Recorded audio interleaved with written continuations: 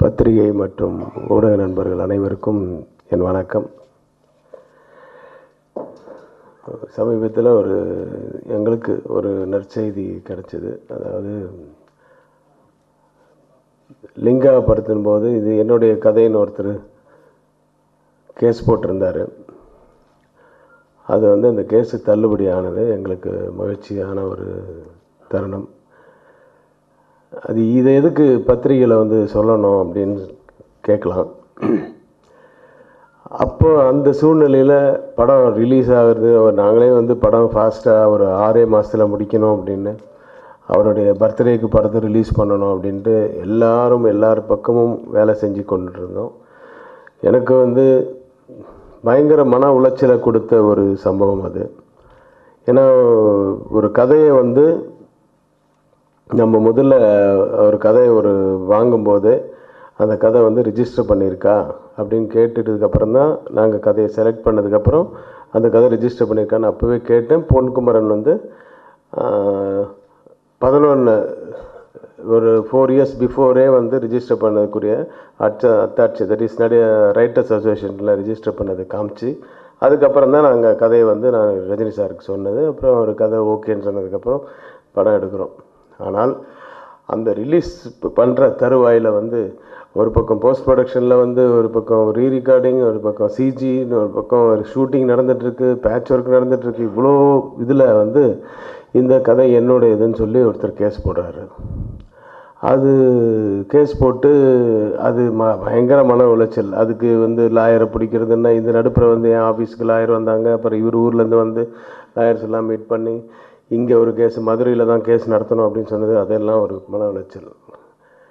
அது இல்லாமல் வந்து நாளைக்கு ரிலீஸ் அப்படின்னும் போது இன்றைக்கி வந்து ஒரு தீர்ப்பு சொல்கிறாங்க இந்த படத்தை வந்து ரிலீஸ் பண்ணணுன்னா பத்து கோடி ரூபாய் நீங்கள் டெபாசிட் பண்ணணும் அப்படின்னு சொல்கிறாங்க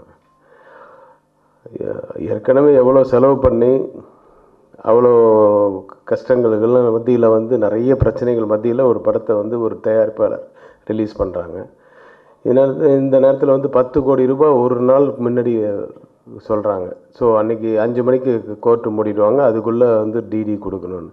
அப்போ அவர் எவ்வளோ கஷ்டப்பட்டிருப்பாருன்னு பாருங்கள் அந்த மாதிரி எல்லாம் ஒரு மன உளைச்சல் இதை வந்து இன்றைக்கி பத்திரிக்கை சொல்கிறது காரணம் அன்றைக்கி வந்து இந்த பத்திரிகைகள் பூரா வேலையில் எழுதுச்சு. ரஜினி சார் படம் அப்படிங்கிறதுனாலையோ என்னமோ அது மிகவும் எல்லா பத்திரிகைகளும் எல்லா டி யூடியூப் அது இதுன்னு எல்லா வெப் சேனல் எல்லாத்துலேயுமே வந்திருந்தது. ஸோ அது நாங்கள் வந்து ஒரு ஒரு நம்ம திருட்டு கதையை வாங்கி எடுத்துட்டோம் எடுத்துட்டோம் அப்படின்றது சொல்கிறது வந்து ரொம்ப கஷ்டமாக இருந்தது. ஸோ அன்றைக்கி அந்த பத்திரிகைலாம் வந்த அந்த செய்தி வந்து அது திருட்டு கதை இல்லை இது பொன்குமரனுடைய கதை தான் அப்படின்னு இன்றைக்கி ஒரு ஒரு அத்தாட்சி மாதிரி கோர்ட்டு டிசைட் பண்ணதுனால அதை வந்து நாங்கள் சந்தோஷமாக அதே பத்திரிகையில் இதெல்லாம் வரணும் அப்படிங்கிறதுக்காக தான் இதை நாங்கள் சொல்கிறோம் ஸோ அது வந்து எப்படி அப்படின்னா நாங்கள் எங்களுடைய ஆதாரங்கள்லாம் கொடுத்தோம். இன்ஸ்பிரேஷன் வந்து நிறைய பேருக்கு வரலாம். இது ஒரு ஃபாரின் படத்தை பார்த்து கதைகள் இன்ஸ்பிரேஷன் ஆகிறதுலாம் வேறு விஷயம். இது வந்து பென்னி குக்குன்னு ஒரு ஒருத்தருடைய உண்மை வரலாறு.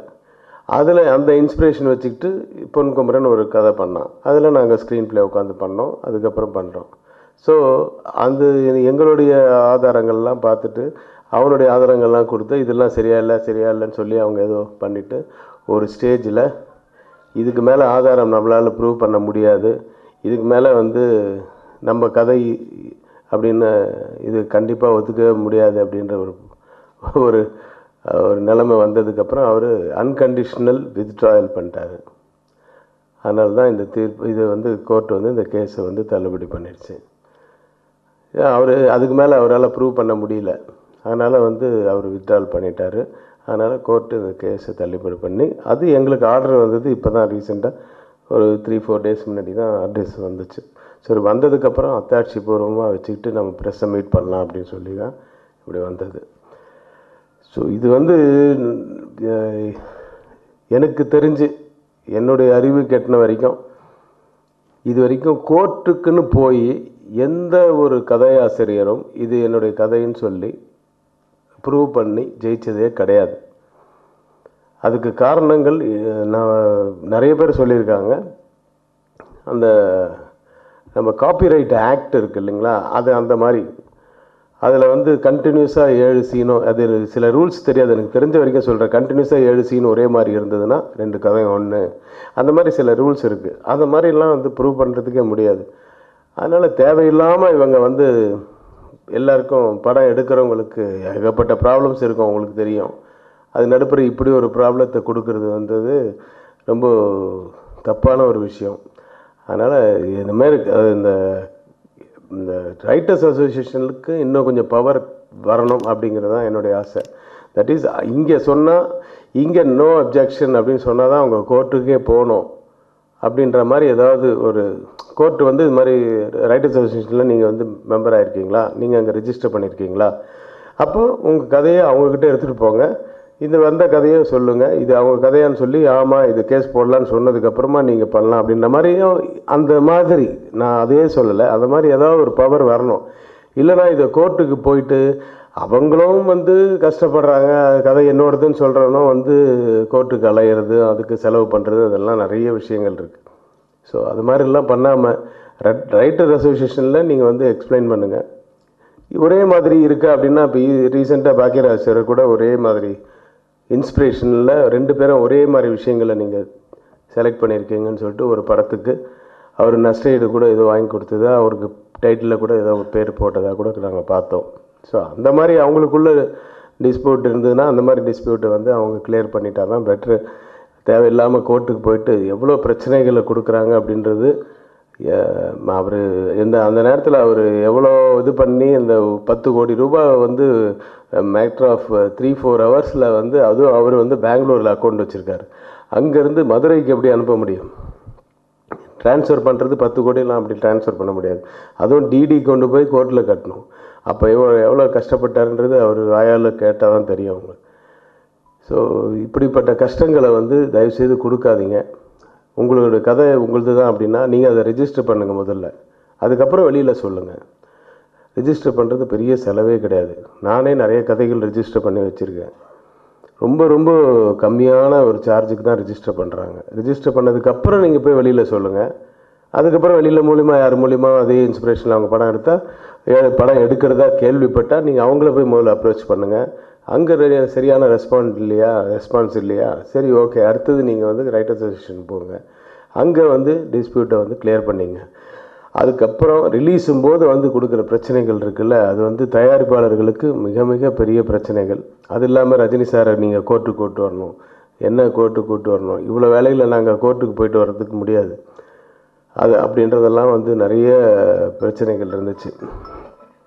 ஸோ இதுதான் என்னுடைய கோரிக்கை ரைட்டர்ஸுக்கு மற்றபடி மறுபடியும் அவர் பேசுனதுக்கப்புறம் நீங்கள் எதாவது கேள்வி இப்போ கேட்டிங்கன்னா நான் பதில் சொல்கிறேன் தேங்க்யூ எல்லாருக்கும் வணக்கம். டாக்டர் ரவிக்குமார் சார் எல்லாம் சொல்லியிருக்காரு. ஆனால் நான் அந்த சந்தர்ப்பத்தில் ஒரு படம் ரிலீஸ் பண்ணுற அதுவும் ரஜினி சார் படம் ஒரு அஞ்சாயிரம் தியேட்டர் அதில் ஒரு வேர்ல்டு ரிலீஸ் பண்ணுற ஒரு சுச்சுவேஷன் எப்படி இருக்கும்ன்றது உங்களுக்கு எல்லாம் நல்லா தெரியும்.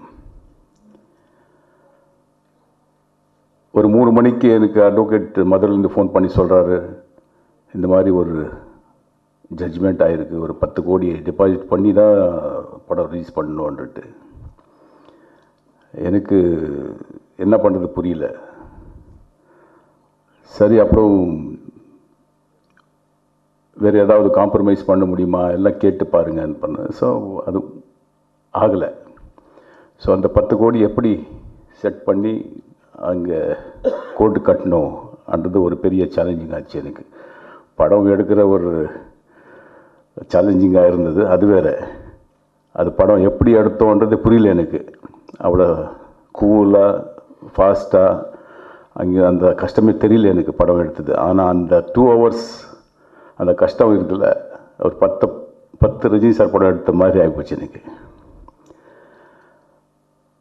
ஃபோர் ஓ கிளாக்கு அந்த ஆர்டிஜிஎஸ் இது க்ளோஸ் ஆகிடும் நாலு மணிக்கு. ஸோ அதெல்லாம் பண்ண பண்ண அந்த ஃபார்மாலிட்டிஸ் க்ளோஸ் பண்ணுறதுக்கு ரொம்ப ரொம்பவே கஷ்டம் ஆயிடுச்சு ஸோ நான் ரிக்வெஸ்ட் பண்ணி பேங்க்கில் மதுரையிலேருந்து லோக்கல் பிரான்ச்லேருந்து டிடி கொடுக்குற மாதிரி நம்ம பேங்க் பாவம் அங்கே அரேஞ்ச் பண்ணி கொடுத்தாங்க. சம்பவம் அது ஆயிடுச்சு. ஒருவேளை சார் சொன்னார் ரைட்டர்ஸ் ஆகட்டும் இதெல்லாம் இருக்குது இதுக்கு பின்னாடி இன்னும் ஒரு பெரிய ஒரு சமுதாயமே என்ன மீன்ஸ் எவ்வளோ பேர் டிபெண்ட் ஆகிருக்காரு இந்த படத்துக்கு? எவ்வளோ கோடி கோடி ரூபா இண்டஸ்ட்ரி பணம் இன்வெஸ்ட்மெண்ட் ஆகிருக்கும் ஒருவேளை அந்த சந்தர்ப்பத்தில் ரிலீஸ் ஆகலைன்னா எவ்வளோ லாஸ் ஆகிருக்கும் ஒரு எக்ஸிபியூட்டர் ஆகட்டும் ஒரு டிஸ்ட்ரிபியூட்டர் ஆகட்டும் டோட்டல் இண்டஸ்ட்ரிக்கு எவ்வளோ லாஸ் ஆகிருக்கும்ன்றது நாங்கள் எல்லாம் ரொம்ப முக்கியமாக யோசிக்கணும். ஏதோ ஒரு சின்ன போய் போட்டு ஒரு பிளாக்மெயில் சுச்சுவேஷன் கொண்டு வந்து பிளாக்மெயில் பண்ணுறதுக்காகவோ இந்த மாதிரி எல்லாம் பண்ணுறது இருக்குல்ல. ஸோ ஒரு சின்ன சுச்சுவேஷன் க்ரியேட் பண்ணி அது என்கேஷ் பண்ணுறது எவ்வளோ பிரச்சனை உண்டாக்குவோன்றது உங்களுக்கு எல்லாம் நல்லா தெரிஞ்சிருக்க விஷயம். இந்த படத்தில் நான் ஃபேஸ் பண்ண விஷயம் நான் உங்ககிட்ட ஷேர் பண்ணிருக்கேன். ஸோ அது முன்னாடி ஆகக்கூடாது. அந்த சந்தர்ப்பத்தில் இவ்வளோ கோ கோடி கோடி பட்ஜெட் படம் பண்ணி அந்த சந்தர்ப்பத்தில் சில மீடியாவில் கதை திருட்டாங்க இவங்க. அது திருட்டாங்க இது திருட்டாங்கன்னா சரி இவ்வளோ கோடி கோடி செலவு பண்ணி நாங்கள் திருடணும் ஆகணுமா? நாங்கள் திருடுங்களான்றது மாதிரி நமக்கு பேஜராகிடும் ஸோ அந்த சந்தர்ப்பத்தில் அதெல்லாம் ஐ ஃபேஸ்ட் இட் ரொம்ப பேஜாராச்சு. ஸோ சம்வேர் பணம் எல்லாம் கட்டி ரிலீஸ் பண்ணோம். ரொம்ப கஷ்டம் ரொம்ப கஷ்டப்பட்டு we have released of course Rajini sir ரொம்ப அந்த சந்தர்ப்பத்தில் எனக்கு ரொம்பவே சப்போர்ட்டிவாக இருந்தார்.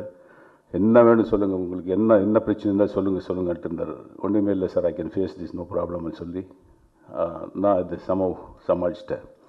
படம் ரிலீஸ் ஆச்சு. ஸோ ஒரு ரைட்டர் ஆஸ் ரவிக்குமார் சார் சொன்ன மாதிரி ஏதாவது கிளைம்ஸ் இருந்ததுன்னா ஒரு ரைட்டர்ஸ் அசோசியேஷன் இருக்குது மெம்பர்ஸ் இருக்காரு முன்னாடியோ இல்லாத தெரிஞ்சப்போ போய் அப்ரோச் ஆகி அது எப்படி சால்வ் பண்ணுறது அது பண்ண நல்லதுன்னு தான் தோணுது. ஸோ இந்த மாதிரி ஏதோ லாஸ்ட் மூமெண்ட் வரைக்கும் வெயிட் பண்ணி கோர்ட்டில் போய் தெரியாமல் ஒரு லாஸ்ட் டே ப்ரீவியஸ் டே இல்லை ஒரு ரெண்டு நாளுக்கு முன்னாடி நோட்டீஸ் அனுப்பிச்சு அந்த பிளாக்மெயில் பண்ணாமல் அட்லீஸ்ட் எல்லோரும் இல்லை யாரும் அந்த மாதிரி பண்ணுறாங்க இல்லை பண்ணணும் அண்ட் தோன்ற அந்த மாதிரி இருக்கிறவங்களுக்கு நான் சொல்கிறேன் இதெல்லாம் இண்டஸ்ட்ரிக்கு நல்லது கிடையாது. அப்புறம் சத்தியமாக சொல்கிறேன் இவங்களுக்கு எப்பவும் வெற்றின்றது கிடையாது. நம்ம படத்துலேயே ஒரு சாங் இருக்குது உண்மை ஒரு நாள் வெல்லும். அது டைரக்டர் சார் அப்படி சொல்கிறாரு அந்த லிரிக்கு லிரிக்கல் வேல்யூ என்ன அது மீனிங் என்னான்ட்டு. ஸோ எப்போ ஒரு நாள் அதுக்கு ஒரு வெற்றி என்று தெரியும் வரும். அன்று தான் அந்த சாங்கு தத்துவம். ரஜினி சார் எந்த மேதியிலே பேசினாலும் கூட ஒரு ஒரு மெசேஜ் சொல்லுவார். ஸோ இந்த படத்தில் அந்த ஒரு ஒரு சாங் இருக்குது ஸோ நான் என்ன சொல்ல வரேன்னா ஏதோ ஒரு யாரோ டார்கெட் பண்ணுறதுக்காகவோ இல்லை இந்த மாதிரி படம் கதை எந்தன்னு சொல்லிட்டு பிளாக்மெயில் பண்ணுறதாகட்டும் இதெல்லாம் பண்ணாமல் சினிமா இண்டஸ்ட்ரிக்கு இதெல்லாம் வரக்கூடாதுன்னு சொல்கிறேன் நான். ஸோ அதுக்கு ஏதாவது இருந்ததுன்னா அதுக்காகவே அசோசியேஷன்ஸ் இருக்குது அந்த அசோசியேஷனில் உக்காந்து எந்த மாதிரி பேசி அதுக்கு ஒரு சொல்யூஷன் கண்டுபிடிக்கணுமா? அது கண்டுபிடிச்சா நல்லதான்ட்டு நான் இந்த சந்தர்ப்பத்தில் ரைட்டர்ஸ் அசோசியேஷன் ஆகட்டும் டைரக்டர்ஸ் அசோசியேஷன் ஆகட்டும் இல்லை இங்கே அதர் அசோசியேஷன்ஸ்க்கெல்லாம் நான் இந்த சந்தர்ப்பத்தில் கேட்டுக்கிறேன். அவங்க எல்லாம் கூப்பிட்டு அட்லீஸ்ட் ஒரு சின்ன ஒரு மெசேஜ் பாஸ் பண்ண நல்லா இருக்கும்ன்றது எனக்கு தோணுது. இது ஆன மேலே ஒரு கோர்ட் அப்ரோச் ஆகுறதுன்றது மதுரை எவ்வளோ வாட்டி போயிட்டு வந்தேன் நான்.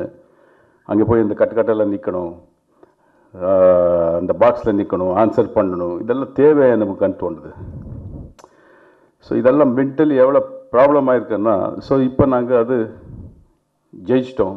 நம்ம அட்வொகேட் சொன்னார் சார் ரொம்ப ஒரு நாலஞ்சு வருஷமாக நீங்கள் மதுரை வந்தீங்க போனீங்க கோர்ட்டு பணம் செல்லும் எல்லாம் ஆச்சு. யூ சூ அவங்க மேலே நீங்கள் கேஸ் போடுங்க. கேஸ் போட்டு டேமேஜ் கவர் பண்ணுங்கன்னாரு. நான் சொன்னேன் சார் அவங்க ஏதோ ஒரு இது தப்பு பண்ணாங்க I don't want to repeat that அவங்களே புரிஞ்சுக்குவாங்க. நான் பண்ணலாம் பெங்களூர்லேயோ டெல்லியோ கேஸ் போட்டுட்டு அவர் மதுரையில் அங்கே வர சொல்கிறதுக்காகட்டும் எல்லாம் வேணும் என்ன வேணும் பண்ணலாம் that is not the solution so புரிஞ்சுக்கிட்டால் போதும். தப்பு பண்ணியிருக்கிற அந்த அவங்களுக்கே தெரிஞ்சுது. So where you can't claim அவரே போட்ட கேஸ் வாபஸ் எடுத்துட்டாங்க. அப்புறம் கோர்ட்டு ஸ்டடி பண்ணி டிஸ்மிஸ் பண்ணியாச்சு. ஸோ இந்த சுச்சுவேஷனில் இருக்கும்போது ஐ டோன்ட் வாண்ட் டு அவர் மேலே மறுபடி ஏதோ ஒரு ஒரு ரிவெஞ்ச் எடுக்கிறது அந்த மாதிரி தத்துவம் நம்மளுக்கு கிடையாது. நானும் ரஜினி சாரை ஃபாலோ பண்ணுறவன் அந்த மாதிரி யாருக்கு தொந்தரவு கொடுக்கக்கூடாதுன்ற ஒரு தத்துவம் எனக்கு இருக்குது ஸோ அந்த மாதிரி அது விட்டாச்சு. ஸோ இந்த சுச்சுவேஷனில் இவ்வளோ தான் சினிமா இண்டஸ்ட்ரியில் நாங்கள் எல்லாம் ஒன்று தான் அதுவும் அவரும் சினிமா இண்டஸ்ட்ரியில் இருந்தவங்க தான். யார் கேஸ் போட்டவங்களுக்கு. ஸோ ஃபர்தர் இந்த மாதிரி ஆகக்கூடாதுன்றது தான் நான் எல்லாருக்கிட்டேயும் உங்கள் மூலமாக இவங்களுக்கெல்லாம் நீங்கள் எல்லாம் அவங்களுக்கு மீடியா த்ரூ அவங்களுக்கு ஒரு மெசேஜ் போட்டுன்றது நான் உங்களோட கேட்டுக்கிறேன். தேங்க்யூ வெரி மச் ஆமாம் சார் ஆமாம் அதெல்லாம் வேண்டாம் சார் இருந்தது ரொம்ப பேருக்கு ஃபோன் பண்ணார். காம்ப்ரமைஸ் பண்ணல அவ்வளோ கோடி கொடுங்க இவ்வளோ கோடி கொடுங்கன்ட்டு.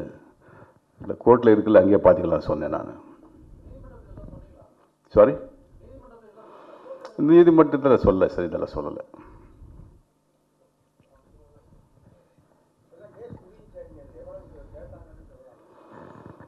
யார்?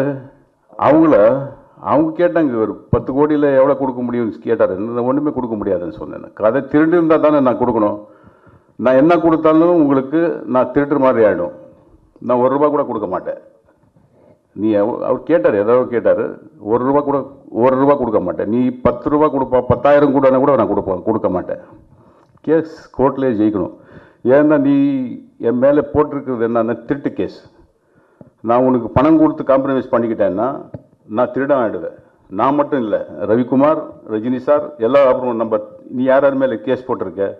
ரைட்டர்ஸ் அசோசியேஷன் எல்லோரும் அப்புறம் திருடுவோம் திருடுற மாதிரி ஆகிடுவோம் நாங்கள் நான் கொடுக்க மாட்டேன். எவ்வளோ வருஷம்னாலும் நான் ஃபைட் பண்ணுவேன். ஸோ அந்த பத்து கோடி நான் இங்கே கட்டின மேலே அது நான் சுப்ரீம் கோர்ட் போயாச்சு. சுப்ரீம் கோர்ட்டில் இம்மிடியட் ஒரே ஹியரிங்கில் சொன்னார். எந்த ஆதாரத்தை வச்சு பத்து கோடி கேட்டாங்க புரியல எனக்கு. இம்மீடியட் அந்த பணம் வாபஸ் கொடுங்க. டிபாசிட் பண்ணிடுற பணம் இம்மீடியட்டாக கொடுங்க வாபஸ். ப்ரொடியூசருக்கு இம்மீடியட்டாக அந்த டிபாசிட் கொடுத்துருங்க வாபஸ்ன்னு சொல்லி ஒரு கோடி ரூபாய் டிபாசிட் வைக்க சொன்னார். பேங்க் கேரண்டி அதை வச்சுட்டு கேஸ் நடுங்க. சிக்ஸ் மந்த்ஸுக்குள்ளே இந்த கேஸ் முடிக்கணும் வந்துட்டு சுப்ரீம் கோர்ட் ஆர்டர் பண்ணிச்சு. ஆனால் அஞ்சு வருஷம் ஆச்சு.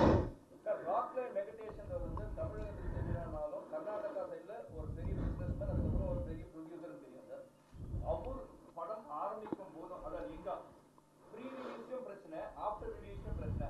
ராக்லைன் வெங்கடேஷன் கார்னர் பண்ண ரஜினியை கார்னர் பண்ணணும் என் விட உங்களுக்கே நல்லா தெரியும் சார். இது நான் ஆன்சர் பண்ணுற விட உங்களுக்கே நல்லா தெரியும். யாரை கார்னர் பண்ணுறதுக்காக இந்த பிரச்சனை எல்லாம் பண்ணாங்க இந்த பிரச்சனையை உண்டாக்குனாங்கன்றது என் விட உங்களுக்கு நல்லா தெரியும் சார் இந்த கதையை வந்து பென்னிக்கு போல கதை அது எப்படி வந்து அவர் ஒரு கதைன்னு சொல்றாரு ஏன் கதைன்னு சொல்றாரு அது எப்படி அது நீங்க கோர்ட் எப்படி அதை எடுத்துக்கிட்டாங்க எனக்கு வந்து பென்னிக்கு போல கதை அது வந்து அவர் ஒரு இமேஜ் பண்ணி பொறுக்குமாறு எழுதிருக்காரு அதை அதை எப்படி அவ்வளோ ஸ்ட்ராங்கா எப்படி கோர்ட் எடுத்துக்கிட்டு அந்த க- அந்த விஷயத்தை அது நாங்கள் பிரச்சனை பண்ண முடியாது இல்லையா சார்? கோர்ட் எடுத்திருக்கு எடுத்திருக்கு அட்மிட் பண்ணியாச்சு so we have to participate sorry sir செலவாச்சு. கிட்ட கிட்ட ஒரு ஐம்பது லட்சம் ஆச்சு. கதை எந்த என்ன கிளைம் பண்ணியிருந்தாங்களோ அது ஃபோர் இயர்ஸாக கேட்குற பிரச்சனை நம்ம அட்வொகேட் கேட்குற பிரச்சனைக்கு அவங்க ஆன்சர் பண்ண முடியல டாக்குமெண்ட் கொடுக்க முடியல. ஸோ அதை வச்சு லாஸ்ட்டில் கேட்ட டாக்குமெண்ட்ஸ் கொடுக்க முடியாதுன்றதுனால அவங்களே ஒத்திக்கிட்டாங்க.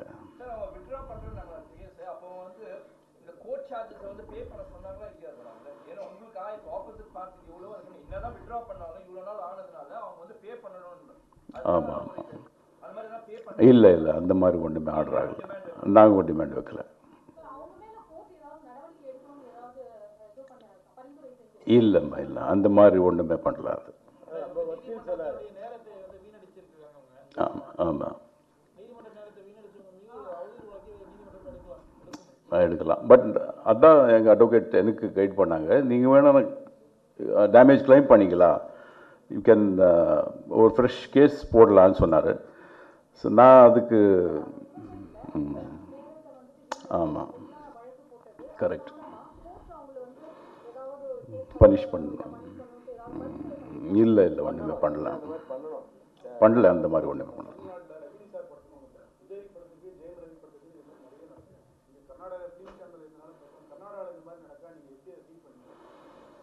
ரொம்ப கூலாக டீல் பண்ணிடுவோம். அந்த கூலாக ரொம்ப கூலாக டீல் பண்ணிடுவோம். இந்த மாதிரி எல்லாம் ஆகாது ரைட் சார் இப்போ நீங்கள் உங்களுடைய உங்களுடைய மெம்பர்ஸ் தான் வந்து அவ்வளோ பெரிய சீனியர் டைரக்டர் வந்து சொ- ஒரு ரைட்டர்ஸ் அசோசியேஷனில் இருக்கிற ஒரு பொறுப்பு இருக்கிற ஒரு டைரக்டர் சொல்லியும் அவர் தான் வந்து கோர்ட்டு அவர் வந்து நம்ம நம்ம சங்கத்துடைய மெம்பர் உங்களோட சங்கத்தில் மெம்பர் அவர் தானே யார் சங்கத்தில் மெம்பர் இப்போ சமீபத்தில் ஒரு டைரக்டர் இங்கே வந்து பேர் சொல்ல வராங்க ஆ ஆ, சரி ஸோ அவர் தான் வந்து கோர்ட்டுக்கு போகிறாரு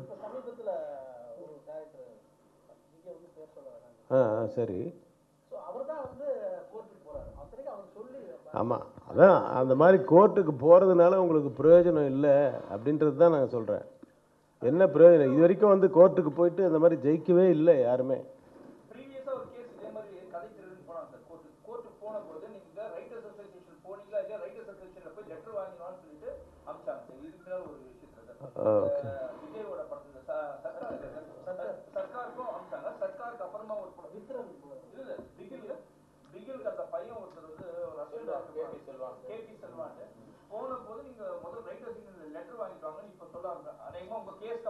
ஆ இது- அது ரீசெண்டாக நடந்திருக்கு. அதான் அதுதான் உண்மையாக முதல்ல கோர்ட்டில் நீங்கள் அந்த case எடுத்துக்கணுன்னாவே no objection from writers association எடுக்கணும். அந்த அளவுக்கு ரைட்டர்ஸ் அசோசியேஷன் வந்து நல்ல ஸ்ட்ராங்காக இருக்கணும் அப்படிங்கிறது தான் என்னோட விருப்பம். ஸோ அது நம்ம கோர்ட்லேயே கூட அது நம்ம இது பண்ணி. அது அசோசியேஷன் அதான் வர சொல்லியிருக்கேன். இன்னைக்கு பாக்கியராஜ் சார் வேற எங்கேயோ ஒரு இதில் இருக்காரு.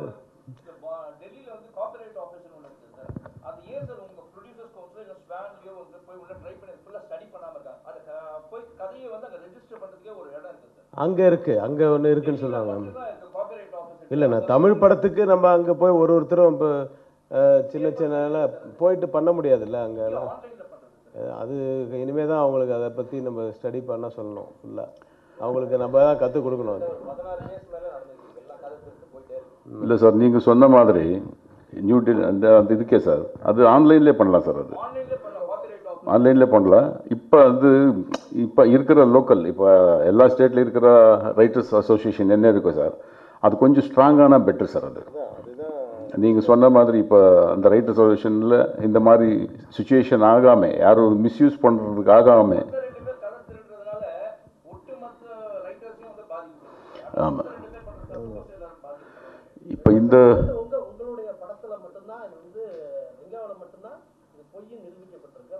மற்றபடி அதுக்கு அடுத்த அடுத்த பிறகு நடந்த விஷயங்கள்ல வந்து கோர்ட் வந்து கண்டிச்சிருக்கு. ம் ம். கோர்ட் வந்து அந்த கூப்பிட்டு சம்பந்தப்பட்ட டைரக்டரை கூப்பிட்டு வந்து நீங்க சொல் நீங்க செய்யறது தப்பு. நீங்க வந்து எதுவும் சொன்னீங்கன்னா நாங்க வந்து திருப்பி வேற மாதிரி சொல்லணும். அந்த மாதிரி ஒரு பேசி கூட சொல்லியிருக்காங்க ஸோ அது வந்து உண்மை. அவர் வேற வழி இல்லாம ஒத்துக்கிட்டு அந்த டைட்டில் அவர் அவர் பேர் போட்டிருக்காரு. சம்பந்தப்பட்டவரோட பேரை போட்டிருக்காரு. ஸோ இது வந்து இது ஏதோ உங்க கதையில மட்டும்தான் பொய் மற்றபடி இங்க நடந்துட்டு தான் இருக்கு. அதான் அது முன்னே நடக்காமல் பார்த்து கரெக்ட் சார் இந்த தீர்ப்பு வந்து எந்த அவருடைய அஹ், கவனத்துக்கு கொண்டு போனீங்களா அவர் என்ன சொன்னாரு எப்படி அதை சார் நீங்கள் அது அவர்கிட்ட கேட்டுட்டு தான் நான் இந்த ப்ரெஸ் மீட்டே அரேஞ்ச் பண்ணோம். இது மாதிரி சார் இது மாதிரி வந்துச்சு இப்படி. பட்டு ப்ரொடியூசரோட விருப்பமும் சொன்னார். சார் அப்போ அத்தனை ப்ரெஸ்ஸை வந்து நம்ம கதையை திருடிட்டோம் திருடிட்டோம்னு வந்து போட்டாங்க ஐயா. அந்த ப்ரெஸ்ஸில் தான் மூலிமா தான் ஜனங்களுக்கு தெரிஞ்சது.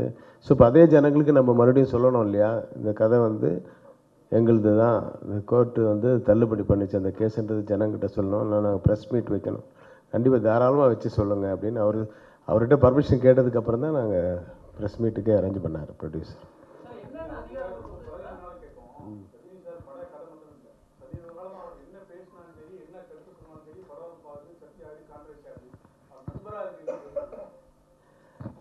அது நண்பராக தானே இருக்கேன் நான். நான் பொலிட்டிக்கல் அவர் கூடவா இருக்கேன். அதுதான் அவருடைய பவர் அதுதான் சூப்பர் ஸ்டார் சூப்பர் ஸ்டார் அவர் எதாவது பேச மாட்டாரா? அவர் எதாவது பேசினா அதில் ஏதாவது ஒன்று பிடிக்கலாமா? அதை எப்படி திரிக்கலாம்? அதை எப்படி பெருசாக்கலாம் அப்படின்றது யூஷுவல் தானே. அது மாதிரி தான் ஆகிட்டுருக்கு கூட்டணியா? சினிமா கூட்டணியா? அது வந்து அதாவதுங்க அது வந்து யார் சொல்லுவாங்க? அது அவர் தான் பவர் பவர்ஃபுல் மேன் தான் சொல்லணும். நீங்கள் தான் டேரக்டரு இந்த கதை எனக்கு பிடிச்சிருக்கு. அவன் தான் ரைட்டரு இவர் தான் ப்ரொடியூசர்னு அவர் தான் சொல்லணும். அப்படி தான் சொன்னது இது. ரெண்டே நாளில்ங்க ரெண்டே ரெண்டு நாளில் தான் ஒரு ஒரு நாள் இப்போ கதை கேட்டார். நைட்டு யோசித்து நாளைக்கு சொல்கிறேன்னாரு நான் யோசிச்சுட்டு எனக்கு ரொம்ப புதிய இது- இந்த பென்னி குக் கதை வேறு அவருக்கு நல்லா தெரியும். அவருக்கு எப்பவுமே இந்த பழசு அந்த நடந்த வரலாறுகள் அதெல்லாம் ரொம்ப படிப்பார். அதே மாதிரி அந்த காலத்து இது எல்லாம் எகிதா இது இதிகாசங்கள் எல்லாமே ரொம்ப படிப்பார். அந்த கதையிலெல்லாம் அவனுக்கு ரொம்ப இது லைக் பொன்னி பொன்னியின் செல்வன்லாம் அத்தனை வாட்டி படிச்சிருக்காரு. ட்ராமாஸ் போட்ட பா பார்ப்பாரு இந்த மாதிரி. ஸோ அந்த மாதிரி அவர் படிச்சு இப்போ என்ன என்ன கேட்டாங்க அதை பத் ரெண்டே நாள்ல நம்ம ரெண்டு நாள்ல நம்ம அந்த மாதிரி ரெண்டு நாள்ல பொன்குமரன் கதையை அவர்கிட்ட ஒரு வாட்டி அவன் தான் வந்து நேராக சொன்னான். சொன்னதுக்கப்புறம் அன்றைக்கி நைட்டு சார் மறுநாள் வந்தார். இது எப்போ உடனே ஸ்டார்ட் பண்ண முடியுமான்னு. ஸ்டார்ட் பண்ணிடலாம் சார் அப்படின்னு. "அஹ், உங்களுக்கு ராக்லின் வெங்கடேஷ் தெரியுமா அப்படின்னு. நல்லா தெரியும் சார் எனக்கு. ஏன்னா எனக்கு சமுத்திரம் போது எனக்கு ஒன்று வந்து அட்வான்ஸ் கொடுத்தாரு. அவருக்கு ஒரு படம் பண்ணணுன்றதுக்காக. சமுத்திரம் டயத்தில் தட் இஸ் அது ஒரு ப பத்து பன்னெண்டு வருஷம் அப்போ இருந்து தெரியும். அது இல்லாமல் சமுத்திரத்தில் அங்கே ஒரு பிரச்சனைகள் நடந்தது. க உங்களுக்கு எல்லாம் தெரியும். இப்போ மைசூரில் பெரிய அடிதடி எல்லாம் நடந்துச்சு. அப்போ வந்து மறுநாள் ஃபுல் ஃபோர்ஸோடு அவர் தான் வந்து எங்களுக்கு பாதுகாப்பு கொடுத்தாரு. அது மாதிரி எனக்கு ரொம்ப நண்பர் சார் அவர் அப்படின்னு அவர் தான் ப்ரொடியூசர் அப்படின்ட்டு உடனே அவர் நீங்களே ஃபோன் பண்ணுங்க அப்படின்னு அவர் ஃபோன் பண்ணி சார் இது மாதிரி பே பேசுனது என்ன சார் ரொம்ப நாள் ஆச்சு பேசி இல்லை சார் ரஜினி சார் பேசணுன்னு உடனே எல்லாமே மேட்ரு ஆஃப் ஃபேக்ட் டூ டேஸ்க்குள்ளே ஃபிக்ஸ் ஆகிடுச்சு அது அந்த டூ டேஸ் மறுபடியும் வருமான்னு நீங்கள் கேட்குறீங்க வரலாம். கிடைக்கிறது கிடைக்காம இருக்காது. கிடைக்காம இருக்கிறது கிடைக்காது.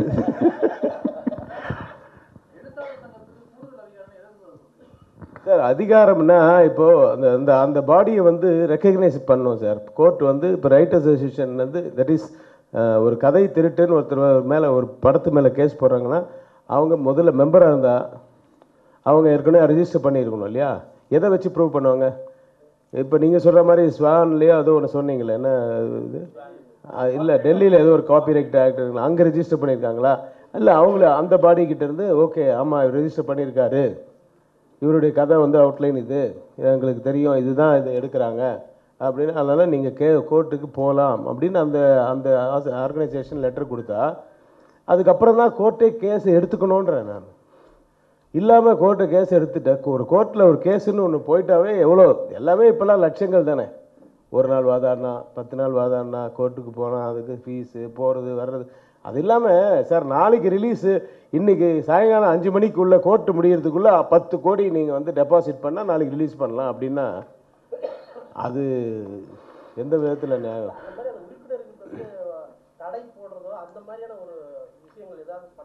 அதான் இப்போ அது அதான் அந்த அசோசியேஷன் ரொம்ப ஸ்ட்ராங்காக இருந்ததுன்னா தானாகவே பயப்படுவாங்க. இப்போ இந்த மாதிரிலாம் நீ வந்து நீ ஏன் கோர்ட்டில் இருந்து வித்து வித்ரா வாங்கியிருக்கல? அப்போ நீ போட்டது தப்பான கேஸ் தானே? உனக்கே உன்னாலே ப்ரூவ் பண்ண முடியல. ஏன்டா அப்படி இதெல்லாம் பண்ணேன்னு சொல்லிட்டு அவனை வந்து மெம்பர்ஷிப்லேருந்து கேன்சல் பண்ணணும். அந்த மாதிரி பவர்ஃபுல்லாக இருக்கணும் ஒரு அசோசியேஷன் ஆர்கனைசேஷன் வந்து அந்த மாதிரி பவர்ஃபுல்லாக இருக்கணும் அப்படின்றது தான் விருப்பம் எல்லாரோட விருப்பமும் அது பாக்கியராஜ் சார்கிட்ட பேசி அதெல்லாம். இன்றைக்கி அவர் வர சொன்ன மனோஜ்குமார் வரேன்னு சொன்னார். வேலையாக இருக்காருன்னு. வேலை என்னன்னு தெரியும் நீங்கள்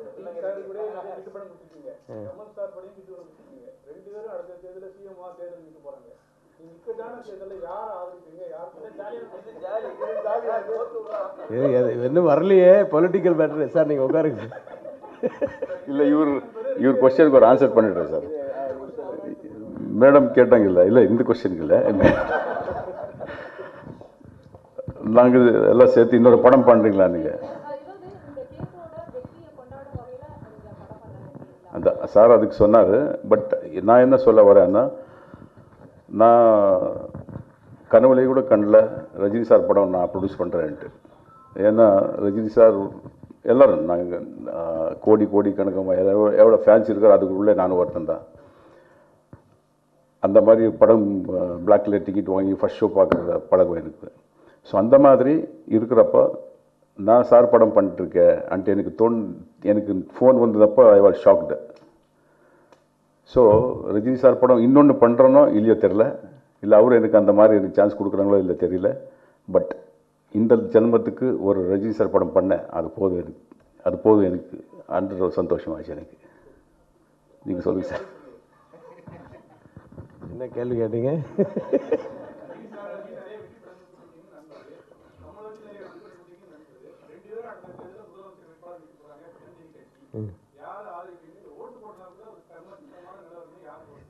இப்போ இனிமேல் அவங்களுக்கு நண்பராக இல்லாமல் இருக்கணும்ன்ட்டு நீங்கள் பிளான் பண்ணுறீங்க நான் இது எப்படி இப்போ சொல்ல முடியும்?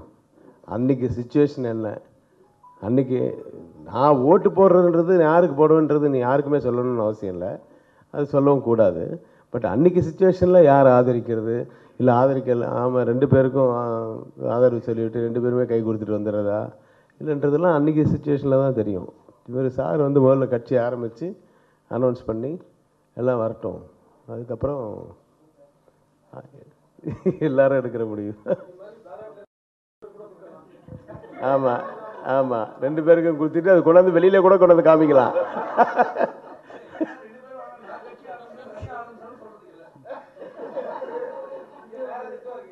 ஆமாம்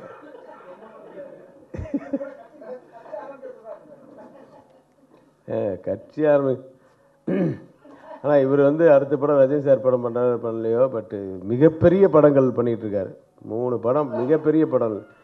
வேர்ல்ட் லெவல் படங்கள் தான் பண்ணிகிட்ருக்காரு ஆ ஆக்டிங்கும் நல்லா பண்ணார் தமிழ் படங்களும் நடிப்பார். அங்கே கர்நாடகாவில் நல்ல வெல் நோன் ஆர்டிஸ்ட் ஆ குருட்சேத்திரம் அங்கே பெரிய ஹிட்டு அதில் நடிச்சிங்களோ? நான் பார்க்கல.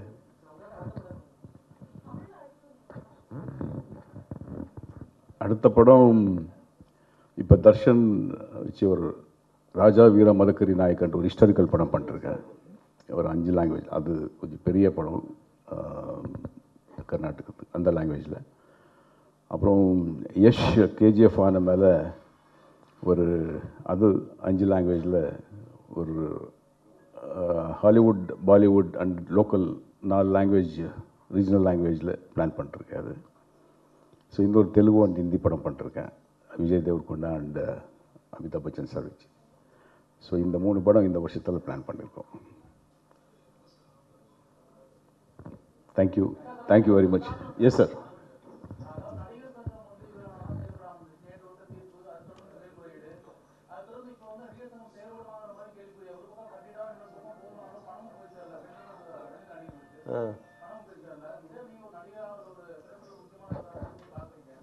ரொம்ப கஷ்டமாக இருக்குது உள்ளுக்குள்ளே ஃபேமிலிக்குள்ளே தகராறு வந்தால் எவ்வளோ கஷ்டப்படுமோ அது மாதிரி தான் எல்லாம் ஒருத்தர் ஒருத்தர் தேவையில்லாமல் இது பண்ணிக்கிட்டு நீ பெரிய ஆளா நான் பெரிய ஆளான்னு காமிக்கிறேன்னு அவசியமே இல்லை. இதெல்லாம் கோர்ட்டுக்கே போகக்கூடாது. இப்போ நடிகர் சங்கம் உண்மையாக நடிகர் சங்கம் ப்ரொடியூசர்ஸ் கவுன்சில்லாம் வந்து ஒன்றும் வேலையே எந்த வேலையும் நடக்கலை. நடிகர்கள்லாம் நிறைய பேர் வந்து என்னை எவ்ரி இயர் வந்து பார்ப்பாங்க. அவங்களாம் வந்து அவ்வளோ கஷ்டப்படுறாங்க. சார் எங்கள் பேமெண்ட்டே ஒழுங்காக வரல வந்து சேரலை. அப்புறம் எங்களை கூப்பிடவே மாட்டேங்கிறாங்க. முன்னே ஒரு அசோசியேஷன் இருந்ததுனா தானே ஏ நீ இத்தனை பேர் அங்கே நடிச்சிருக்காங்க நீங்கள் இத்தனை இப்போ இத்தனை பேர் போடல நடிகர் சங்கத்துலேருந்து கேட்க முடியும். இப்போ கேட்கறதுக்கு அங்கே ஆள் இல்லை. ஸோ ரொம்ப கஷ்டமான விஷயந்தான் இது சீக்கிரம் ஒரு முடிவுக்கு வந்து அது மறுபடியும் இயங்கணும். அப்புறம் அந்த கட்டடம் வரணும். இதுதான் எல்லோருடைய ஆசை. என்ன வேற நல்லா சொல்கிறேன் எதுக்குப்பா சண்டை போட்டுக்கிட்டு இருக்கீங்க? இப்போ என்ன யார் என்ன தூக்கிட்டு போகிறாங்க ஏதாவது பேர் தானே யார் யாருக்கு வருது யாருக்கோ ஒருத்தர் பேர் வந்துட்டு போகுது. ஒழுங்காக அதெல்லாம் நடத்தி முடிச்சுக்கிச்சு. அது எல்லாமே வித்ட்ரா பண்ணி அந்த அந்த மறுபடியும் பழைய ப- இதுவே கூட ஒர்க் பண்ணலாம். பழைய அந்த பழைய குரூப்பே கூட ஒர்க் பண்ணலாம்னு சொல்லி ஒரு ஏதோ ஒரு ஆர்டர் கொடுத்தா கூட ஏதோ ஒன்று வேலை நடக்கணும்ல. அப்படியே நிற்குது இல்லை எல்லாமே. அது ஒன்றும் ஆகாது. கம்பி எல்லாம் அதுக்கப்புறம் பூசிடலாம். ஏ யாரோட அப்படியா? ஆமாம் அது நான் வந்து போன வருஷம் ஒரு ஏழு எட்டு படத்தில் ஆக்ட் பண்ணேன். அதெல்லாம் ஒன்று ஒன்றா வரப்போகுது வெளியில். இப்போ ஆக்ட் பண்ணிட்டுருக்கேன் நெத்தப்பு. நைட்டு தான் வந்தேன் கல்கட்டாவிலேருந்து கிருஷ்ணா அது நம்ம விக்ரம் படம் கோப்ராவில் நடிச்சிட்டு. ஸோ தமிழில் இப்போ நடிப்பில் பிஸியாக இருக்கேன் நான்.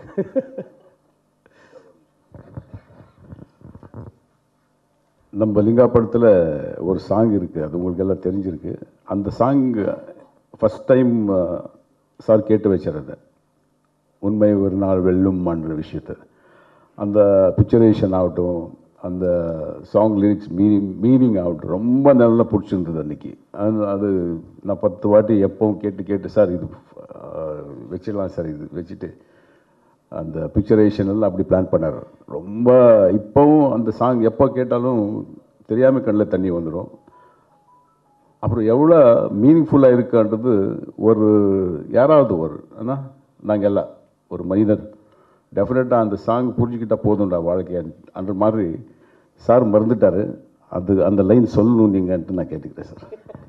ஏ, உண்மை ஒரு நாள் வெல்லும் இந்த உலகம் உன் பேர் சொல்லும் அப்படின்றது தான் அந்த இப்போ இந்த லிரிக்ஸ் எல்லாம் மறுபடியும் உங்களுக்கு தெரியாதா? யூடியூப்பில் தட்டினா வரப்போகுது. ஸோ ஃபுல் மீனிங் கரெக்டாக அது வைரமுத்து சூப்பராக எழுதியிருந்தார். அது சுச்சுவேஷன் சாங் அது. ரொம்ப அருமையாக அமைஞ்ச படம். அது கிளைமேக்ஸ் மட்டும் கொஞ்சம் சொதப்பிடுச்சு. அதில் இல்லைன்னா அது மிகப்பெரிய வெற்றி படம். ஆனால் இப்போவும் ரஜினி சார் இருக்கல சார் நூற்றி ஐம்பத்தெட்டு கோடி கலெக்ட் பண்ணியிருக்கு சார். எல்லாம் வெளியில் எப்படி வேணால் பேசிட்டோம். நூற்றி ஐம்பத்தெட்டு கோடி கலெக்ட் பண்ணியிருக்கேன் எனக்கு ரொம்ப பிடிச்ச படம் அப்படின்னு ஒன் எயிட்டி கலெக்ட் பண்ணியிருக்கான். ஒன் எயிட்டி கலெக்ட் பண்ண ஆனால் ஏதோ ஒரு நாலு பேர் ஏதோ ஒன்று ஏதோ ஒன்று பேசி அதுக்கப்புறம் அவங்கெல்லாம் இப்போ எங்கே இருக்காங்கன்னே தெரியல பாருங்கள் இல்லையா? அதான் உண்மை ஒரு நாள் வெல்லும். இந்த உலகம் முன் பேர் சொல்லும். அது வந்து Rajini sir is great actually அது வந்து கொஞ்சம் கூட ஒரு பர்சன்ட் கூட இப்படியெல்லாம் ஊரில் பேசுகிறாங்களே இப்படியெல்லாம் பேசுகிறாங்க அதை பற்றி கவலையே பண்ணல எனக்கு பிடிச்ச மாதிரி நீங்கள் செஞ்சு கொடுத்தீங்க. ஓகே அது லாஸ்ட் மினிட்ல வந்து வேறு வழி இல்லாமல் நான் பேட்டியில் கூட சொல்லியிருக்கேன். ரீசெண்டாக இந்த சித்ரா லக்ஷ்மண் சாய் சார் அந்த இந்த கிளைமேக்ஸ் என்னெல்லாம் நம்ம பிளான் பண்ணோம் அது ஏன் வரல? சிஜி அது டைம் இல்லாமல் போச்சு. அதனால் வந்து அது இன்னும் இன்னும் ஒரு ஃபிஃப்டீன் டேஸ் டுவெண்ட்டி டேஸ் இருந்தால் அது அந்த எடுத்தது கரெக்டாக வந்திருக்கும். ஓகே என்ன நடக்கணும்னு இருந்தோ அதுதான் நடக்கும். அதுக்காகலாம் ஒன்றும் கவலைப்படக்கூடாது. ஆனால் உங்களோட அந்த சன் தட் இஸ் அது நான் திருடம் இல்லை நான் திருடம் இல்லை நான் திருடம் இல்லைன்னு சொல்கிறதுக்காக தான். ஏன்னா அது கோர்ட்டு சொல்லிடுச்சு. அது ஜனங்களுக்கு நீங்கள் போய் முதல்ல இவன் திருட்டான் இவன் திருட்டான் இவன் திருட்டான்றது சொல்லி போய் ரீச் பண்ணீங்க. யாரோ ஒருத்தர் போட்டு. அது நாங்கள் இல்லை இல்லை இல்லைன்னு சொல்லணும் இல்லையா? அதுக்காக தான் ஃபர்தராக இந்த இந்த மீட்டிங்கே அதனால தான். அது மட்டும் இல்லாமல் இந்த மாதிரி ஃபர்தராக எதுவும் நடக்கக்கூடாது இண்டஸ்ட்ரிக்கு அது எவ்வளோ பாதிப்பு அப்படிங்கிறது ஒரு ப்ரொடியூசராகவும் ஒரு டைரக்டராகவும் அது ஒரு ரைட்டராகவும் அவன் எவ்வளோ அழுதுருப்பான். எவ்வளோ பிரச்சனைகள். ஏன்னா அப்போ அவனுக்கு எவ்வளோ குற்ற உணர்வு இருக்கும். அஃப்கோர்ஸ் என்னுடைய கதைகள் நான் வந்து எந்த படத்துலையும் என்னோட கதைன்னே நான் போட்டுக்கவே மாட்டேன். எல்லாம் எவ்வளோ இன்வால்வ் ஆகியிருந்தால் கூட அது யார் ஒரு லைன் சொன்னாலும் ஒரு ஃபுல் கதை சொன்னாலும் அவங்க பேர் தான் போடுவோம் ஆனாலும் அந்த கதையை நான் இருந்தாலும் ஓகே பண்ணி ஸ்க்ரீன் ப்ளே பண்ணி டைரக்ட் பண்ணுறேன் அதனால் என் பேரில். அந்த படத்தை ப்ரொடியூஸ் பண்ணுறனால அவர் பேரில். அந்த படத்தில் ஹீரோ நடிச்சதுனால அவர் பேரில். இந்த கதையை வேறு யாரும் ப்ரொடியூசர்ஸ் கவுன்சிலு கூட இல்லை. இன்னும் ரெண்டு மூணு பேர். மொத்தம் அஞ்சு பேர் மேலே அந்த கேஸ் அவங்க வந்து போட்டாங்க. போலீஸ் டிபார்ட்மெண்ட் வேறு என்ன பண்ணி என்ன பண்ணுவாங்க போலீஸ் சார்? நீ எவனோ ஒருத்தன் எவ்வளோ கற்று சொல்கிறான் போலீஸ் டிபார்ட்மெண்ட் நாங்கள் என்ன சார் பண்ணுவோம் எங்கள் மேலே வேறு போட்டிருக்காங்க கேஸுன்னுவான் ஸோ இதெல்லாம் சரி இது வந்து நடந்துச்சு வேறு யாருக்கும் நடக்கக்கூடாதுன்னு வேண்டிக்கிறோம். அதுக்கு வந்து இது வந்து ஜனங்கிட்ட கொண்டு போய் தெரிவிக்கணுன்றதுக்காக உங்களெல்லாம் மீட் பண்ணணும்னு மீட் பண்ணுவோம் Manoj வராராவா okay okay thank you thank you very much